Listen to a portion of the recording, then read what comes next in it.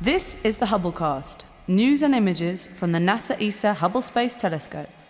Traveling through time and space with our host, Dr. J, aka Dr. Joe Liske. Welcome to the sixth special episode of the Hubblecast celebrating the International Year of Astronomy in 2009.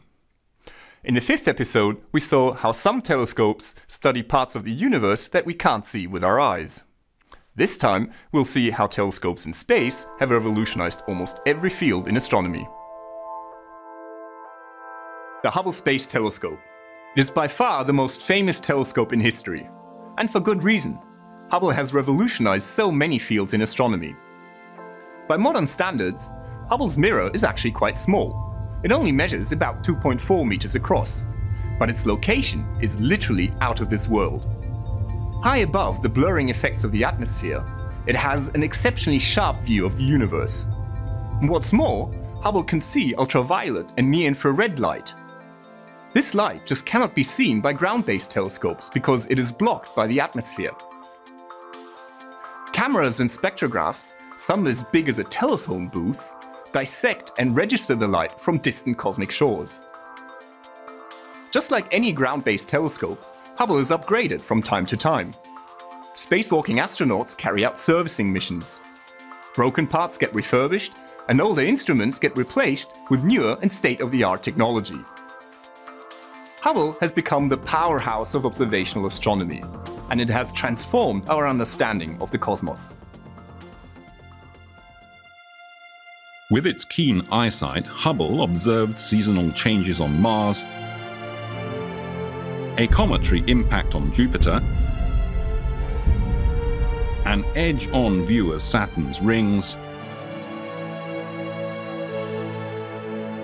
and even the surface of tiny Pluto.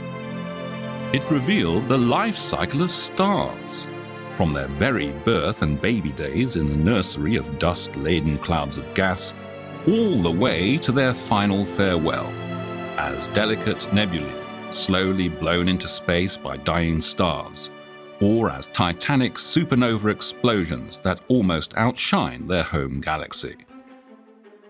Deep in the Orion Nebula, Hubble even saw the breeding ground of new solar systems, dusty disks around newborn stars that may soon condense into planets. The Space Telescope studied thousands of individual stars in giant globular clusters, the oldest stellar families in the universe. And galaxies, of course. Never before had astronomers seen so much detail. Majestic spirals, absorbing dust lanes, violent collisions,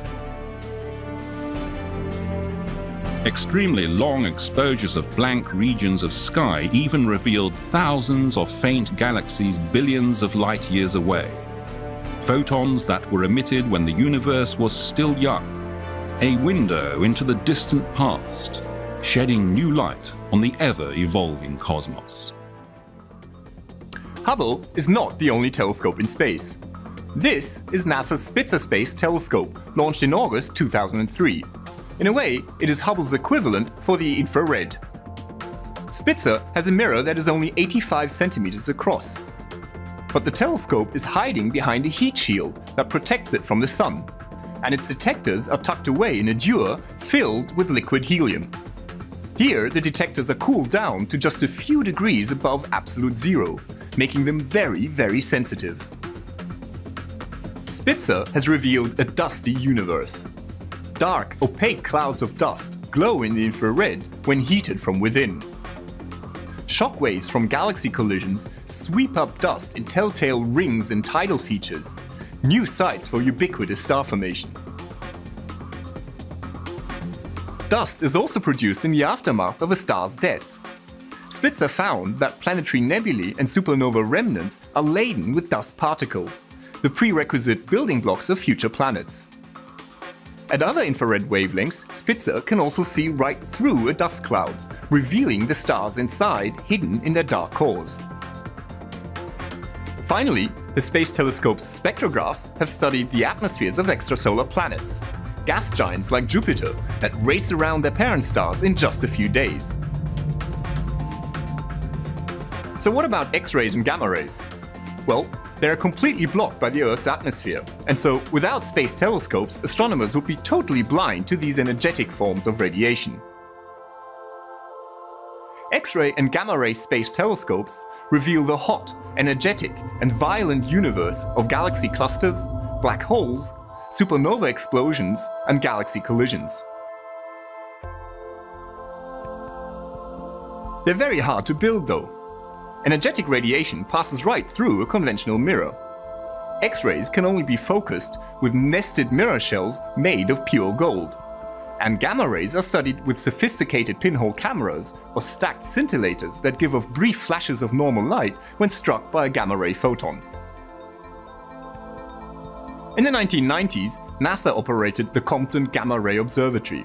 At the time, it was the largest and most massive scientific satellite ever launched, a fully fledged physics lab in space. In 2008, Compton was succeeded by GLAST, the Gamma Ray Large Area Space Telescope. It will study everything in the high energy universe, from dark matter to pulsars.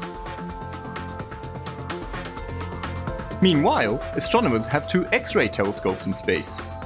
NASA's Chandra X-ray Observatory and ESA's XMM Newton Observatory are both studying the hottest places in the universe. This is what the sky looks like with X-ray vision. Extended features are clouds of gas heated to millions of degrees by shock waves in supernova remnants. The bright point sources are X-ray binaries, neutron stars or black holes that suck in matter from a companion star. This hot, infalling gas emits X-rays.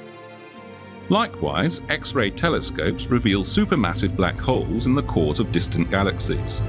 Matter that spirals inward gets hot enough to glow in X-rays just before it plunges into the black hole and out of sight. Hot but tenuous gas also fills the space between individual galaxies in a cluster. Sometimes this intra-cluster gas is shocked and heated even more by colliding and merging galaxy clusters. Even more exciting are gamma-ray bursts, the most energetic events in the universe. These are catastrophic terminal explosions of very massive, rapidly spinning stars. In less than a second, they release more energy than the Sun does in 10 billion years. Hubble, Spitzer, Chandra, XMM Newton, and GLAST are all versatile giants. But some space telescopes are much smaller and have much more focused missions. Take Corot, for example. This French satellite is devoted to stellar seismology and the study of extrasolar planets. Or NASA's SWIFT satellite, a combined X-ray and gamma-ray observatory designed to unravel the mysteries of gamma-ray bursts. And then there's WMAP, the Wilkinson Microwave Anisotropy Probe. In just over two years in space, it had already mapped the cosmic background radiation to unprecedented detail. WMAP gave cosmologists the best view yet of one of the earliest phases of the universe more than 13 billion years ago. Opening up the space frontier has been one of the most exciting developments in the history of the telescope. So what's next?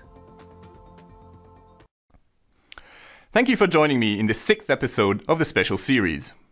Next time, we'll see the new and amazing telescopes of the future that are currently being planned. This is Dr. J, signing off for the Hubblecast. Once again, nature has surprised us beyond our wildest imagination.